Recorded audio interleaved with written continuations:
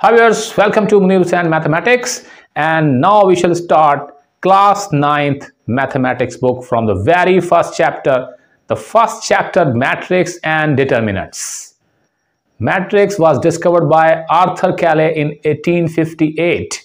He presented his theory of matrices and remember that determinant have been discovered 300 years ago than matrices. So first of all, we shall see what is matrix.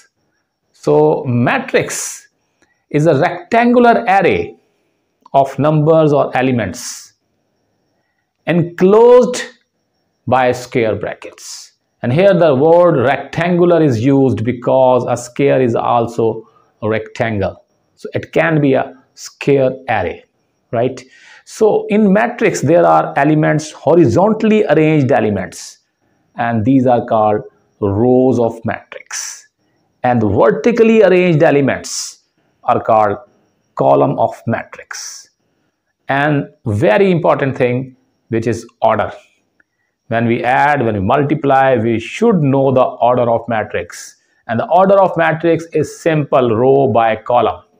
If a matrix has m number of rows and n number of column order of matrix will be m cross n Yes, the order of matrix will be m cross n. And now we shall go to the very first question of exercise number 1.1 in which we have to tell the order of the matrix. So here is the first matrix and in this first matrix A 2 3 minus 5 6. So here there are two rows and two columns so order will be 2 by 2 and uh, the next one also same 2 by 2 the third matrix C only one row. Elements 2 4 so two columns. 1 by 2 it will be order. And the next matrix is D matrix. Here are 4 0 6 one column but rows are 3 so its order will be 3 by 1 next is E. And in E there are three rows and two columns so its order will be 3 by 2. F, only one element. It means one row and one column. So its order will be 1 by 1. Very easy. Just find the number of rows and number of column and you can find the order of matrix quite easily. Now, another concept, equal matrices. If a matrix have same elements and also same order, for example, it is 2, 3, 4, and it should be a column. It is 2 3 4 it's row. It's not equal to this.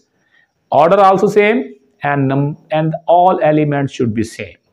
Then the matrix is called equal matrices. So now we go over the question number 2 so here we have some matrices we are given. But if someone plus minus elements we can subtract first. So c matrix is actually 5 minus 2 3 and similarly the matrix G is 3 minus 1, 2 and 3 plus 3, 6. So it's 2, 6. Similarly, I, 3 plus 2, 5. So it will be 3, 5. And J, we shall add all the four elements 2 plus 2, 4, 2 minus 2, 0, 2, 4, 6 and 2 plus 0, 2.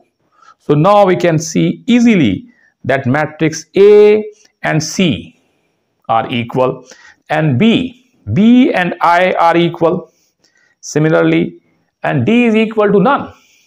And E, E is equal to H and I. And G is equal to F. So these are the matrices which are equal. Now the very last question of this exercise in which there are two equal matrices are given and we have to find the unknown elements A, B, C and D. So first of all, we should know that we should write here if matrices are equal then their corresponding elements are also equal. Yes. So now we have four equation. By corresponding elements matching we shall get a plus c is equal to 0 a plus 2b is equal to minus 7 c minus 1 is equal to 3 and 4d minus 6 is equal to 2d. Now what we do, we have to find a, b, c and d. So first of all, we shall calculate the value of those variables which have only one variable in the equation. For example, equation number 2 we have c minus 1 is equal to 3. So from here we can easily find by taking 1 to the right side c is equal to 4. And once again the next one which is only one variable is 4d minus 6 is equal to 2d.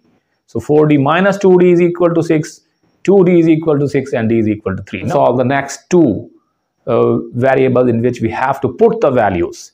Yes, in this a plus c is equal to 0 we have a plus c is equal to 0 now we have known the value of c which is 4 put there.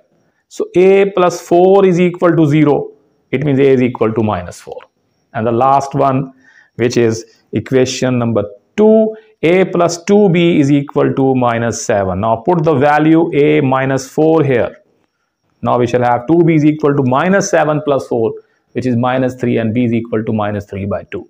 So this is the first exercise. In the next video, we shall go for the next exercise, exercise number 1.2. Till then, it's goodbye. Subscribe my channel, Muneer Hussain. See you in the next video. Till then, it's goodbye.